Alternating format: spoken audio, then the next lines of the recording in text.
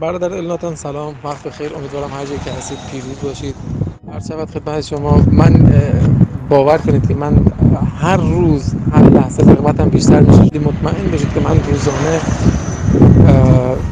حالت حالا رازگاهان یا مطالعه کتاب مقدس رو دارم. اول صبح به صبح قبل از اینکه کارم رو شروع بکنم من مطالعه می‌کنم و بسیار بسیار برکت می‌گیرم. هر شود خدمت شما خیلی دوست دارم ایرادی اگه بنده دارم به بنده بگید. من واقعا خوشحال میشم اگه ببینم انتقادی هست. ایرادی اگه بنده دارم به بنده بگید که من راهم رو حداقل بهتر بهتر حرکت کنم بهتر قدم بردارم تو این مسیری که انتخاب کردم. مطمئن باشید که من پشیمون نیستم. مطمئن باشید که من افتخار می‌کنم. هر روز ایمانم بیشتر میشه. هر روز عشقم نسبت به این راه راه در زندگی بیشتر میشه. و و هر روزم که صدای شما رو میشنوم نه اینکه بخوام تعارف بکنم یا چیزی بیشتر آروم میشم. بیشتر آرامشم رو پیدا می‌کنم.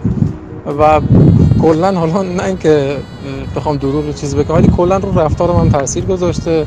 خیلی با مردم بهتر برخورد می‌کنم. خیلی راحت ترم تو زندگی دیگه. اون دغدغه های سابق رو ندارم. ولی یه سری دغدغه هست حالا دغدغه بدهکاری و قسط وام دادن اینا خب اونا جای خود دارد ولی به لحاظ اخلاقی نه هیچ گونه دغدغه دیگه ندارم. چون از حرفای شما من برکت می‌گیرم. امیدوارم که بنده رو باز ببخشید و اینکه تو این راه بیشتر بنده رو یاری بدید. موفق